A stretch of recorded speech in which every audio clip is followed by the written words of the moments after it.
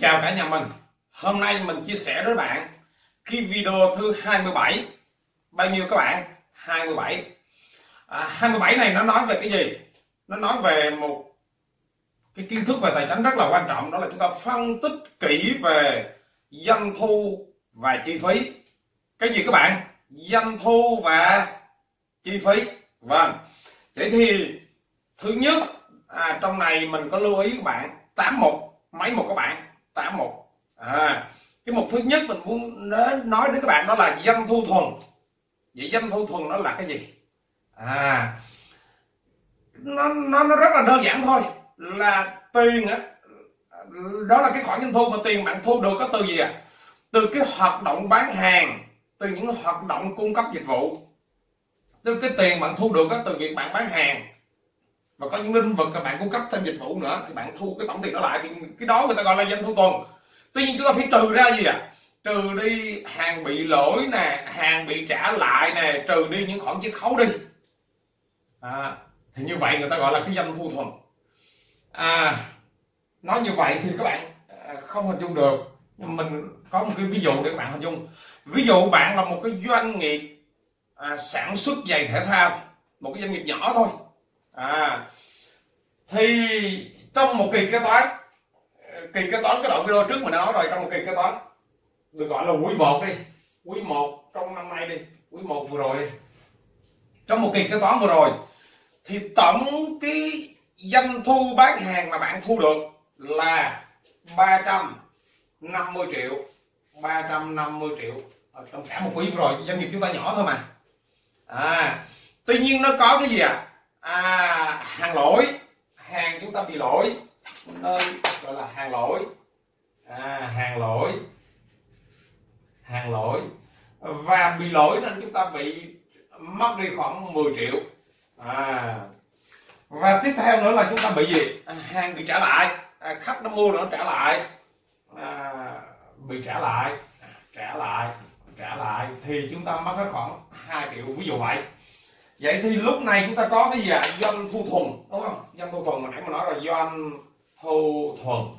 À doanh thu thuần là nó bằng gì? Nó bằng tổng cái tiền mà chúng ta có nè.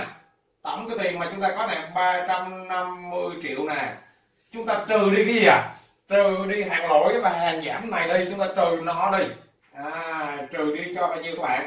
Trừ đi cho 10 à, trừ đi cho nhiều cho hai nữa là chừng cuối cùng à, lúc này cái tiền chúng ta còn lại trong tài khoản là bao nhiêu các bạn ơi? Còn trong tài khoản là nhiêu là? Là 300 đúng không? 338 triệu. Ok chưa? Ừ. cái này thì được gọi là doanh thu thuần doanh thu thuần à, doanh thu thuần thế là vừa rồi mình nói cái mục thứ nhất là doanh thu thuần à. Cái thứ hai là giá vốn hàng bán. Giá vốn hàng bán. Giá vốn hàng bán là cái gì cái này chúng ta phải phân biệt được rất là rõ ràng. Cái này là cái tiền mà dùng để chúng ta dùng để chúng ta tạo ra cái sản phẩm. À, hoặc là cái dịch vụ. Hoặc là bạn nào làm bên thương mại thì cái tiền mà bạn dùng để bạn mua bạn mua cái hàng hóa sản phẩm dịch vụ về bạn để bạn mới có tiền bạn bán. Ví dụ bạn là cái doanh nghiệp giày thể thao và bạn sản xuất ra sản phẩm đi. Thì tiền để tạo ra sản phẩm đó là tiền gì? Thứ nhất là tiền gì ạ? Tiền chúng ta mua nguyên vật liệu. À hình dung chưa? Một là tiền chúng ta mua nguyên vật liệu. À, cụ thể nguyên vật liệu ở đây là ví dụ đi. Chúng ta mua vải. À, chúng ta mua cao su để về chúng ta làm lên cái đôi giày. Ví dụ cái tiền này là chúng ta mất hết khoảng 30 triệu. Ok. À, và tiếp theo đó là gì à đó là à, tiền gì à? tiền chúng ta trả lương cho nhân công. À, nhân nhân công nhân công trực tiếp á nhân công sản xuất ra cái đôi giày đó. Ờ, tiền cho nhân công. Nhân công. À ví dụ là nó khoảng 35 triệu. Ok chưa? Nó khoảng 35 triệu. Các bạn nắm cái này không ạ? À, ok. Rồi. Tức là à, cái giá vốn hàng bán là nó bao gồm những cái chi phí tạo ra sản phẩm nó nó không bao gồm những chi phí gián tiếp nha các bạn. Chi phí gián tiếp là những cái chi phí nó phục vụ cho hoạt động như marketing nè quảng cáo nè trả lương cho nhân viên văn phòng nè thuê muốn văn phòng. Không nó không bao gồm cái đó nha. Vậy thì chúng ta trừ cái này ra các bạn nói đây là doanh thu thu thu thuần nè chúng ta trừ đi những cái chi phí cái này được gọi là giá vốn này. các bạn hình dung chưa? Cái này được gọi là giá vốn này cái khúc cái này được gọi là giá vốn này thì chúng ta sẽ có là thu nhập ròng. Trừ đi giá vốn thì chúng ta có thu nhập ròng. À, thu nhập ròng ròng. Thu nhập ròng là bằng cái gì ạ? Bằng hai anh này trừ đi cho nhau. À, hai nó trừ đi cho nhau thì chúng ta sẽ có bao nhiêu à, à chúng ta sẽ có ba. À, à, ba. À, ba ba. À, ok chưa chúng ta sẽ có gì 273 triệu. Ok không các bạn ơi. Ok không à? Chúng ta sẽ còn lại 273 triệu. Ok rồi. Vậy thì vừa rồi là chúng ta có doanh thu thuần đó là chúng ta có thu nhập thuần. À vậy thì bây giờ chúng ta lại tiếp tục cái phần thứ ba chúng ta lại tiếp tục cái gì nữa à chúng mà tại tiếp tục là những cái chi phí hoạt động đó là cái, những cái chi phí họ đại gian tới với chi phí hoạt động là những chi phí gì à đó là gồm có chi phí bán hàng à, chi phí gì à chi phí thuê văn phòng à, chi phí trả lương cho nhân viên văn phòng chi phí marketing chi phí điện nước cái chi phí này là nó vô cùng quan trọng nó cực kỳ quan trọng bạn phải lưu ý được cái chỗ này là dù doanh nghiệp bạn hoạt động hay không hoạt động à, dù bạn bán được hàng hay không bán được hàng thì cái chi phí này bạn vẫn phải trả. Bạn có nhận ra rồi mà bạn chạy một chiến lược quảng cáo. À bạn không bán được cái mặt hàng nào hết. Thì cái chi phí này vẫn cái chi phí hoạt động này vẫn vẫn cứ, cứ phải trả. Bạn có nắm được yếu tố số 3 chưa? À, à ngày hôm đó bạn bán được sản phẩm nào hay bạn không bán được sản phẩm nào thì cái chi phí này bạn cũng phải trả bạn chạy một cái chiến lược marketing bạn quảng cáo trên truyền hình và không có ai liên hệ với các bạn hết thì cái chi phí này vẫn phải trả cái chi phí này nó rất là lợi hại các bạn phải không? Cái chi phí này nó lợi hại lắm á. À, rồi mình ví dụ ha. Vậy thì chi phí hoạt động của chúng ta nó gồm cái gì? Ví dụ đi. Ví dụ như là bạn trả lương.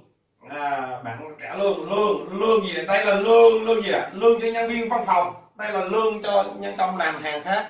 Đây là lương cho nhân viên văn phòng. Ví dụ là 120 triệu à, lương cho nhân viên văn phòng. À, tiếp uh, cái gì nữa?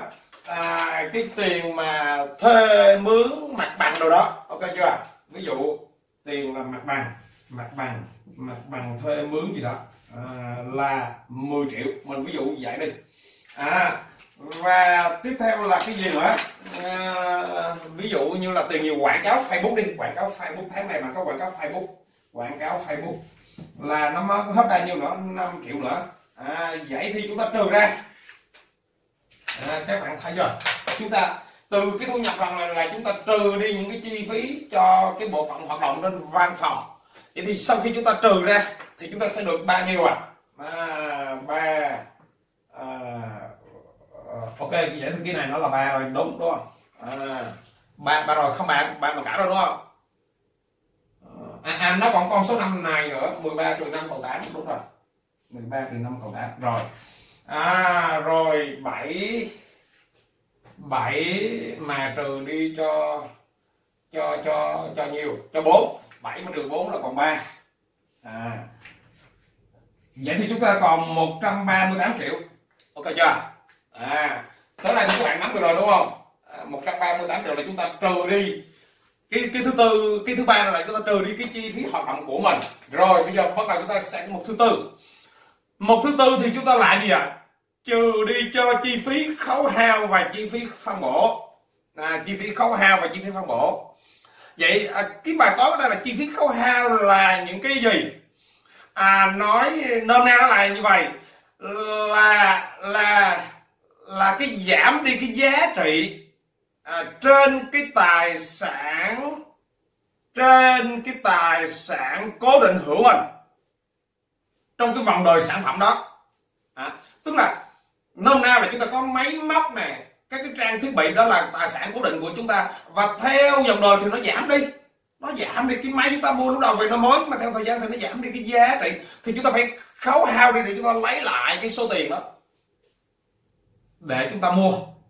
À, rồi nghĩa là khấu hao tài tài khấu hao là các bạn nắm được rồi. Rồi chi phí phân phân bổ. Chi phí phân bổ nó là gì ạ? À? nó là cái khoản gì ạ? À? cái khoản giảm trừ đi giá trị trên tài sản cố định vô hình. À vậy các bạn thấy nó nhận biệt nó khác ra mà một bên là tài sản à, cố định hữu hình thì cái này chúng ta gọi là gì? Khấu hao còn một bên là tài sản à, cố định vô hình. Thì cái này chúng ta gọi là giảm trừ. Phân phân phân bổ phân phân bổ. Chi phí phân bổ. Cái này là khấu hao và cái này gọi là chi phí phân bổ. Vậy vậy thì vô hình là gồm gì? Ví dụ là bản quyền à, bằng sáng chế.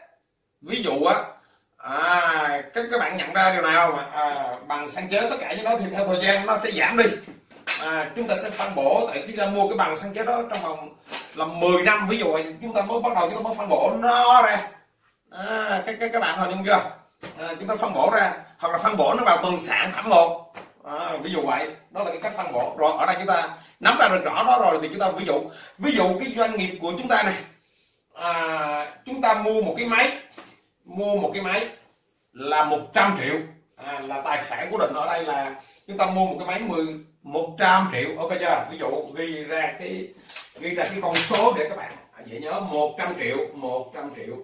Và chúng ta quyết định khấu hao cho nó là à, cái vòng đời của nó sử dụng là 10 năm. À, vậy hóa ra hóa ra là một một năm. Một năm chúng ta à, sẽ khấu hao cho nó là các bạn thấy không ạ? À? là bằng bao nhiêu? 10 triệu. À, 10 triệu mà cái đơn vị hồi nãy chúng ta tính ra là đơn vị quý. Vậy hóa ra một quý. Một quý chúng ta sẽ là bao nhiêu à? Một quý của chúng ta sẽ là 2,5 triệu. Ok. Ok các bạn ơi à, vậy thì à, chúng ta lại tiếp tục tính. Chúng ta trừ đi cái này đi. Đúng không? Thì chúng chúng chúng ta bằng gì? Bằng à, bằng à, à, à, 138 triệu trừ cho 2,5 triệu thì ở dưới đây chúng ta còn gì ạ? à, à một trăm bao nhiêu các bạn? À một trăm bao nhiêu ạ? à 38 mà trừ đi cho 2,5 là 135 đúng không? 135,5 triệu 135 5,5 triệu. Ok. Đó. Các bạn nắm được cái chỗ nào à ok. Rồi. À, cái số 5 là chúng ta trừ đi những cái chi phí khác. À, cái số 5 là chúng ta phải trừ đi những cái chi phí phí khác. Những cái chi phí khác là những cái chi phí gì nó rất là nhiều loại chi phí trong trong trong doanh nghiệp hoạt động mà nó nhiều loại cái chi phí lắm. À, mà cái tại sao nó lại là xếp vào chi phí khác mà nó không lại xếp vào những chi phí này? Những cái chi phí này nó không nó không có diễn ra giống như một cái hoạt động kinh doanh bình thường. À, tháng này thì chi rất là nhiều nhưng tháng sau thì không có. À, tháng này tự nhiên nó đột biến lên nhưng mà tháng sau thì lại ít đi. À, gọi là những cái chi phí này là cái chi phí người ta gọi là chi phí khác. Chi có tháng nó có có tháng nó không có có năm nó có có năm nó không có. Có năm tự nhiên nó đột biến lên cái năm nó lại không có. Đó là gồm những chi phí gì? Ví dụ là chúng ta chi phí chúng ta mua một cái máy mới. À, tháng này chúng ta mua máy mới mà tháng sau chúng ta đâu có mua đâu. À, hoặc là cái chi chi phí gì? À, chi phí chúng ta trả lãi vay. À, tháng này do cần nên chúng ta trả lãi vay một cách rất là đột biến. Cần vay nhiều trả lãi vay rất là đột biến. À, hoặc là chúng ta à, trả nợ hoặc là nó có những khoản gọi là chung chi.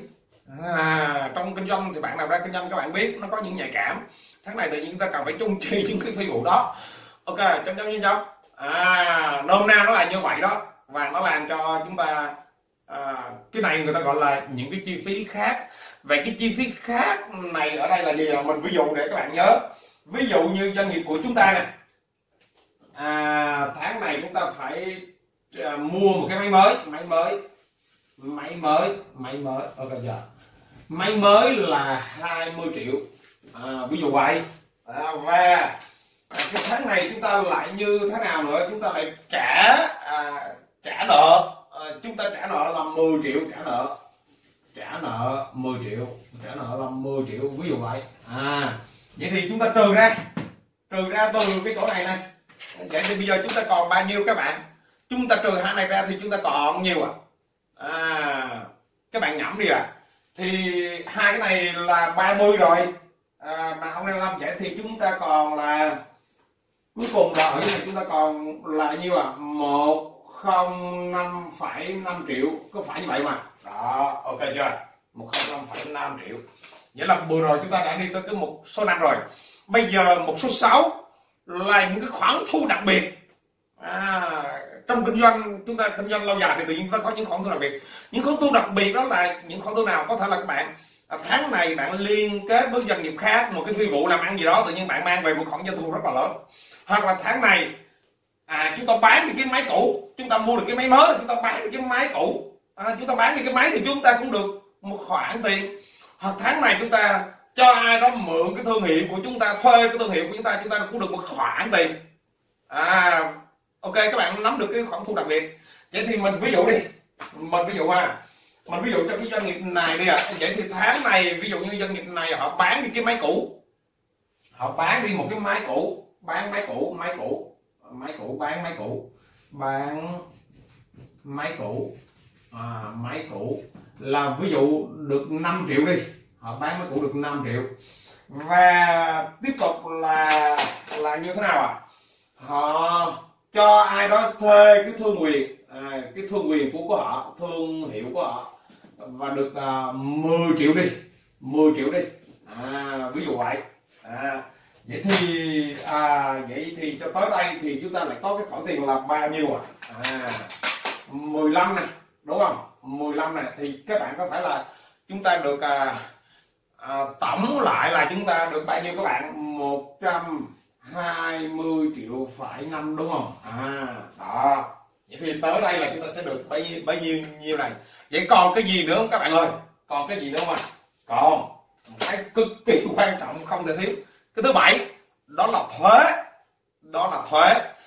Thì thuế thì tùy mỗi doanh nghiệp mà chúng ta có những cái mức thuế khác nhau và tùy theo cái mức lợi nhuận nhiều hay ít mà cái khoản thuế khác nhau.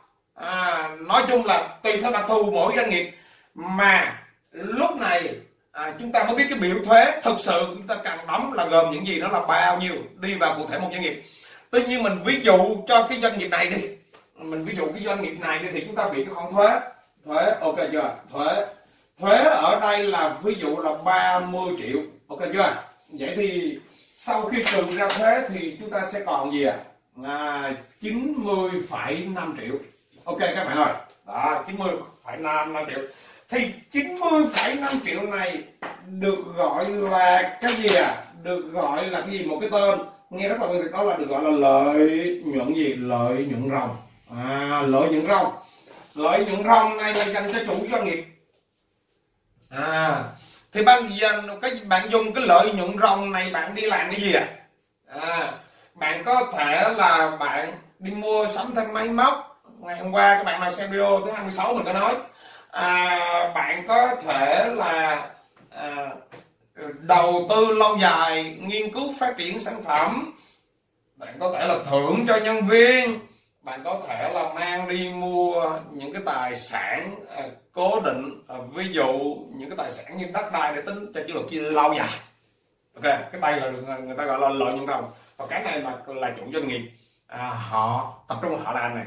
Tuy nhiên hết chưa? Chưa hết. Mình chia sẻ bạn cái phần số 8 hồi nãy mình nói nó có 8 phần mà phần số 8 phần số 8 được gọi là xác định lợi nhuận biên à ra kinh doanh là chúng ta phải hiểu ra được cái cái lợi nhuận biên. À, phần số 8 được gọi là phần số 8 gì vậy là xác định à, lợi nhuận biên. À, thì lợi nhuận biên là nó bằng cái gì ạ? Nó rất là đơn giản nó rất là đơn giản là nó bằng là lợi nhuận ròng. Lợi nhuận ròng chia cho doanh thu thuần. À, rất là dễ đúng không? Vậy thì ở đây là doanh thu thuần của chúng ta nó là như là ba trăm ba các bạn thấy là ba trăm này à, 38 triệu. À, vậy thì chúng ta tính cái chỗ này luôn. 338 triệu. Doanh thu thuần của chúng ta là bao nhiêu à là 90 phẩy 5 triệu. Ok chưa? À 90,5 triệu. Thì chúng ta chia ra. Chúng ta nhân cho 100 phần trăm. Thì cái chỗ này mà chúng ta tính toán ra 7 lần 2 à, 9 9 lần 2 18 9 lần 3 27 đúng không? 2 2 cái máy à. Nó khoảng nó khoảng nó khoảng nó khoảng 2 27 phần trăm. Ok chưa? Nó khoảng 27 phần trăm nghĩa là cái lợi nhuận biên ở đây khoảng 27 phần trăm tức là cái lợi nhuận biên của doanh nghiệp này á à, lợi nhuận biên của chúng ta kinh doanh đó một cái sản phẩm chúng ta kinh doanh nó, nó tương đương khoảng 27 phần trăm nghĩa là chúng ta có 100 đồng doanh thu thì chúng ta sẽ được 27% lợi nhuận. À cái lợi nhuận ước lượng lợi nhuận biên á. À, các bạn nhận ra điều này chưa vậy thì rất là vui. Hôm nay mình chia sẻ bạn chúng mình phân tích kỹ về doanh thu chi phí để ở đâu nó ra cái lợi nhuận. Và mình nói đến bạn tám yếu tố đúng không? Yếu tố thứ nhất là doanh thu thuần. Yếu tố thứ hai là giá vốn hàng bán yếu tố thứ ba là những cái chi phí hoạt động à, cái yếu tố thứ tư là những khoản giảm trừ từ cái gì từ chi phí khấu hao và chi phí phân bổ. Cái yếu tố thứ năm là mình nói các bạn gồm những chi phí khác. Yếu tố thứ sáu là những khoản thu đặc biệt. Thứ bảy là mình nói với bạn và các khoản thuế. Và thứ tám là mình à, giúp các bạn nắm được xác định được lợi nhuận biên à, cảm ơn các bạn đã theo dõi cái video này. Nhớ đăng ký cái kênh của mình. À, Facebook và YouTube và nhớ chia sẻ cái đoạn video này về nhà các bạn. Mình sẽ chia sẻ liên tục trong dự án của mình là 300 đoạn video đoạn cái này mới đoạn video thứ 27 thôi. Chào các bạn. Sẽ gặp lại các bạn ở chương trình sau.